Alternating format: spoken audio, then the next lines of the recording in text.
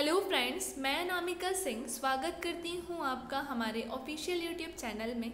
जैसे कि आपको पता है स्पेशल हिंदी, सामान्य हिंदी की एक सीरीज़ स्टार्ट करी है मैंने 500 प्रश्नों की। वो भी स्पेशली मध्य प्रदेश जेल प्रहरी के लिए है और आज उस सीरीज़ का टेंथ डे है टेंथ क्लास है। आई होप आपने इसकी पहले की क्लासेस कंप्लीट कर ली हूँ, क्योंकि काफ़ी सारे महत्वपूर्ण प्रश्नों को हल करवाया है उसमें। आज की सीरीज़ में भी हम थर्टी क्वेश्चन डिस्कस करेंगे। हर वीडियो के एंड में मैं एक प्रश्न भी पूछती हूँ तो लास्ट वीडियो नाइन्थ क्लास के एंड में जो मैंने प्रश्न पूछा था, पहले चलिए उसे डिस्कस कर लेते हैं। तो मैंने एक प्रश्न पूछा था, दो नंबर का प्रश्न था, पृथ्वीराज रासो किस काल की रचना है?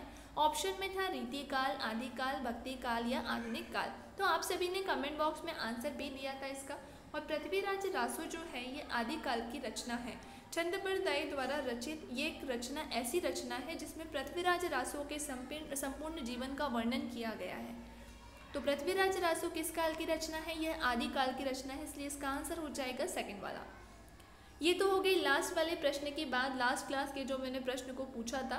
अब हम स्टार्ट करते हैं आज का हमारा क्वेश्चन और आज का हमारा पहला प्रश्न है, नवयुवक कौन, में कौन सा समाज है कर्मधारय बहुव्रीही द्वंद या द्विगु समास। तो नवयुवक जो शब्द लिखा है यहाँ पर, हालाँकि हमने पिछली नौ क्लास में काफ़ी सारे उदाहरण देखे हैं समास के, संधि के, और यहाँ पर भी हमें एक प्रश्न मिला है नवयुवक शब्द में।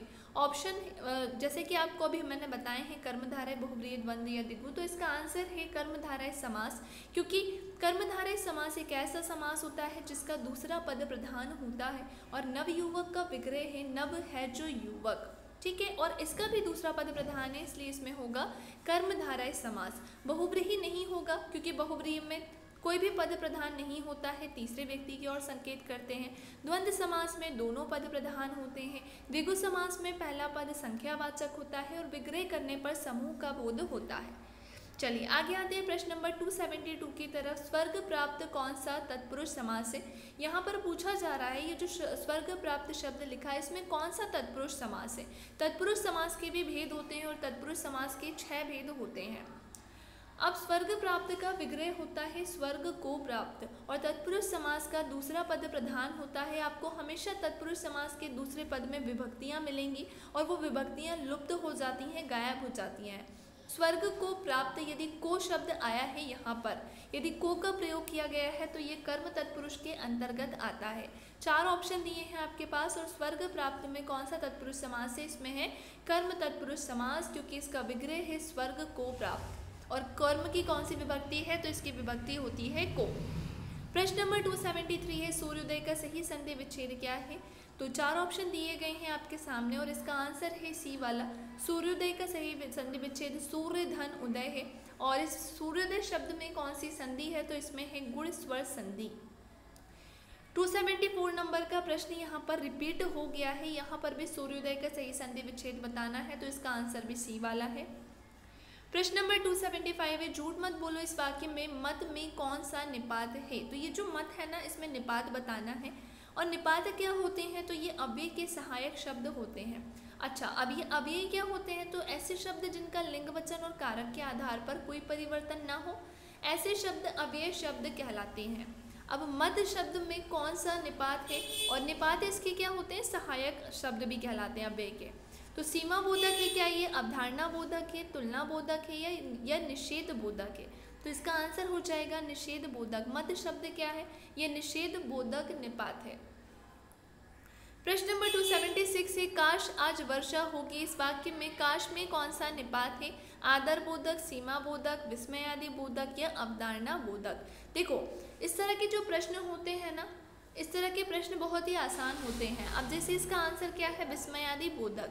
विस्मयादि बोधक क्या होते हैं? जहाँ पर हर्ष, शोक, घृणा, आश्चर्य का बोध हो, वहाँ पर विस्मयादि बोधक शब्दों का प्रयोग किया जाता है। तो यहाँ पर काश के बाद एक चिन्ह भी लगा है, जो कि एक पहचान होती है विस्मयादि बोधक की। इसलिए इसका आंसर हो जाएगा सी वाला 277 नंबर का प्रश्न है, व्याकरण जानने वाला वाक्य के लिए एक शब्द है।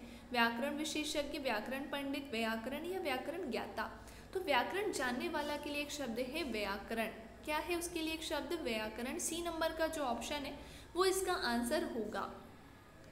गाल बजाना का अर्थ है पिटाई करना, गाली देना, डिंग हाकना या क्रोधित होना। तो गाल बजाना का अर्थ है डिंग हाकना। क्या होगा इसका अर्थ? तो इसका अर्थ होगा डिंग हाकना। अगर मगर करना का अर्थ है कपट करना, बहाने करना, इधर की बात उधर करना या व्यर्थ समय गवाना। तो ये जो यहाँ पर लिखा है अगर मगर करना, इसका अर्थ होता है बहाने करना, इसका आंसर है बी वाला। अगर मगर करना का अर्थ है बहाने करना। 280 नंबर का प्रश्न है, शुद्ध शब्द कौन सा है? सच्चिदानंद कई बार आया हुआ प्रश्न है। तो चारों ऑप्शन ध्यान से देखिएगा और शुद्ध शब्द इनमें से है बी वाला सेकंड वाला। सच्चिदानंद इसी प्रकार से लिखा जाता है। 281 नंबर का प्रश्न है, सन्मति का सही संदेह विच्छेद। तो ये भी कई बार आया हुआ, पूछा गया प्रश्न है, सन्मति का जो विच्छेद होता है, चारों ही ऑप्शन आप ध्यान से पढ़ें, और इसका आंसर है सेकंड वाला बी वाला सत धन मति सन्मति का सही संधि विच्छेद क्या है? तो इसका विच्छेद है सत धन मति 282 नंबर का प्रश्न है, जंगल में लगने वाली आग, उसे क्या कहते हैं? दावा नल, कामा नल, बड़वा नल या जठरा नल। तो जंगल में लगने वाली आग को कहते हैं दावा नल। क्या कहते हैं? तो इसे कहते हैं दावानल। श्री गणेश का विलोम शब्द है विनाश, इति श्री श्री राधा, या इनमें से कोई नहीं। तो श्री गणेश शब्द जो है, इसका विलोम है इति श्री। किसी भी चीज़ को जब शुरू किया जाता है तो कहते हैं ना श्री गणेश। तो जब स्टार्ट करेंगे तो श्री गणेश, और जब भी कोई काम खत्म होता है तो वो इतिश्री यानी ये इसका अपोजिट ये इसका विपरीत होगा। टू एटी फोर नंबर का प्रश्न है, पृथ्वी का पर्यावाची शब्द है। रत्नगर्भा, स्वर्णमय मई वसुमती, हिरण, हिरण्यगर्भा। तो इसका आंसर है रत्नगर्भा। पृथ्वी का पर्यावाची शब्द है रत्नगर्भा। ठीक है? प्रश्न नंबर 285 नंबर का प्रश्न है, भाषा शब्द संस्कृत के किस धातु से बना है? तो भाषा शब्द पहली चीज़ तो संस्कृत का शब्द है। और ये किस धातु से बना है? तो भाष्य, भाष, भास या भाष। शामिल लास्ट वाला जो ऑप्शन है, इसमें हलंत भी लगा है। तो भाषा शब्द भाष्य धातु से बना है। इसका आंसर हो जाएगा डी वाला। 286 नंबर का प्रश्न है, संधि कितने प्रकार की होती है? एक, दो, तीन, सात। तो ये जो संधि है, ये तीन प्रकार की होती है। बहुत ही साधारण प्रश्न है।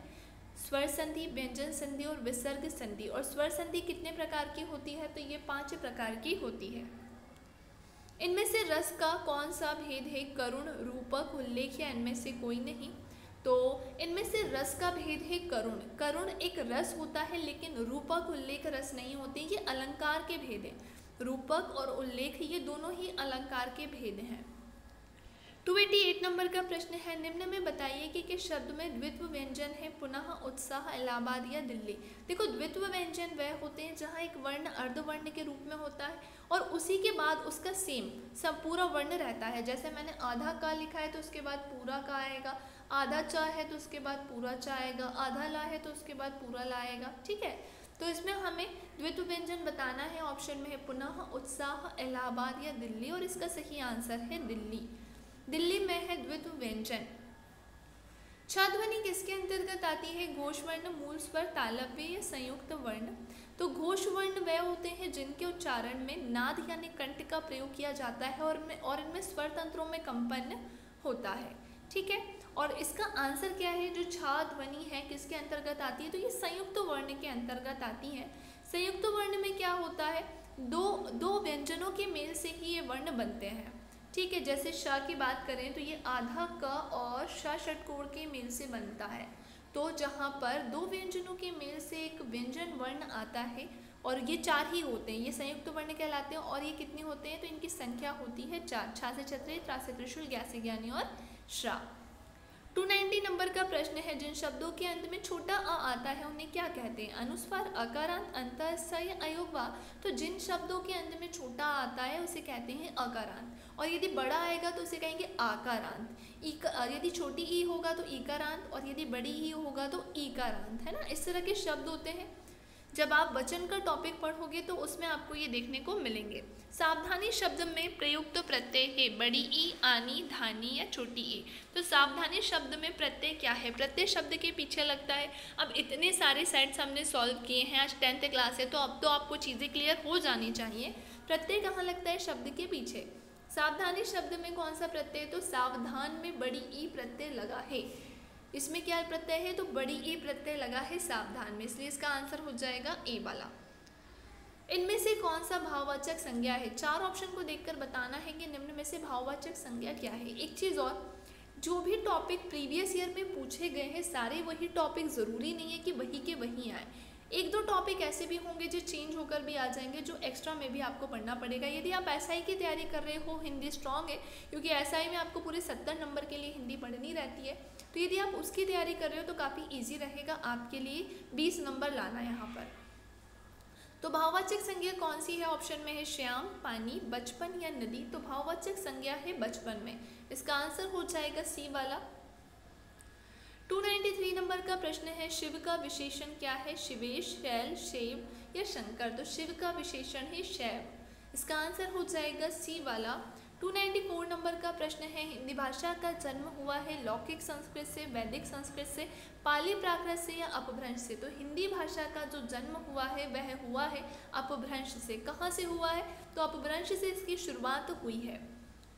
सबसे पहले संस्कृत, फिर पाली, फिर प्राकृत, अपभ्रंश, अभट, ऐसे करके ये पूरा क्रम चलता गया था। और यदि बात करें, सबसे पहले जैसे संस्कृत थी तो संस्कृत पाली प्राकृत तक संस्कृत ही चलती थी। हिंदी की शुरुआत अपभ्रंश से हुई।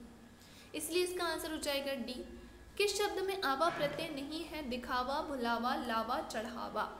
तो आवा प्रत्यय किसमें नहीं है? तो लावा में आवा प्रत्यय नहीं है, बाकी दिख में आवा प्रत्यय है, भूल में आवा प्रत्यय है, चढ़ में आवा प्रत्यय है। ठीक है? प्रश्न नंबर 296 से है कि शब्द में उपसर्ग का प्रयोग हुआ है। आपको ये याद रखना पड़ेगा कि कौन कौन से उपसर्ग होते हैं कौन कौन से प्रत्यय होते हैं, क्योंकि एक तरह से फ्री का नंबर रहता है। आप इसको आसानी से देखकर पहचान सकते हो। अब जैसे ये चार ऑप्शन में से देखकर आप तभी उपसर्ग का उपसर्ग बता पाओगे जब आपको पता होंगे कि उपसर्ग होते कौन कौन से हैं। तो इसका आंसर क्या है? पहला ऑप्शन देखो, लाभदायक, अपनापन, उपकार, पढ़ाई और किस शब्द में उपसर्ग का प्रयोग हुआ है? तो उपकार। उप जो है, उपसर्ग है और कर है धातु। और इसके मेल से क्या बन गया एक शब्द जो कि है उपकार? 297 नंबर का प्रश्न है इनमें, कौन सा शब्द समूहवाचक प्रत्यय नहीं है? समूहवाचक प्रत्यय भी होते हैं, केवल साधारण प्रत्यय नहीं होते, वैसे प्रत्यय दो प्रकार के होते हैं, कृत प्रत्यय और तद्धित प्रत्यय, और इसी में ही आपको पढ़ना रहता है समूहवाचक प्रत्यय। अब इन चार ऑप्शन में से कौन सा नहीं है? लोग, प्रेस, वर्ग या गढ़ गढ़ मतलब भी समूह ही होता है।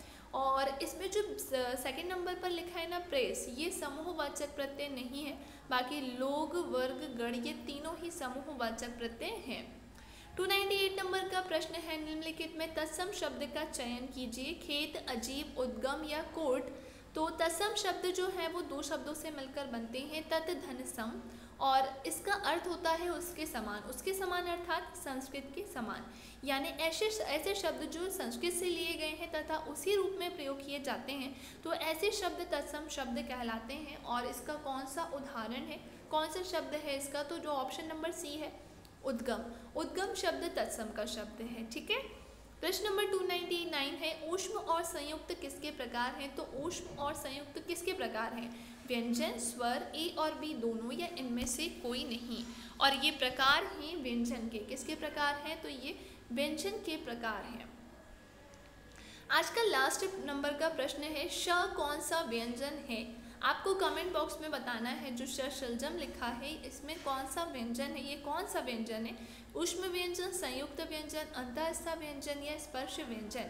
कमेंट करके ज़रूर बताइएगा। बाकी वीडियोस को आप अपने फ्रेंड्स के साथ शेयर करें और डेली क्लासेस कंटिन्यू रखें, क्योंकि डेली तीस प्रश्नों को हम देख रहे हैं और पाँच सौ प्रश्न बहुत ही महत्वपूर्ण हो जाते हैं। और सीरीज़ कहीं ना कहीं सीरीज़ की यदि बात करें तो दस टेंथ नंबर की क्लास है जो कि आज कंप्लीट हो गई है। तो अपने फ्रेंड्स के साथ ज़रूर शेयर करें और वीडियो देखने के बाद इसे लाइक करना ना भूलें। तो मिलते हैं अब हम हमारी नेक्स्ट क्लास में।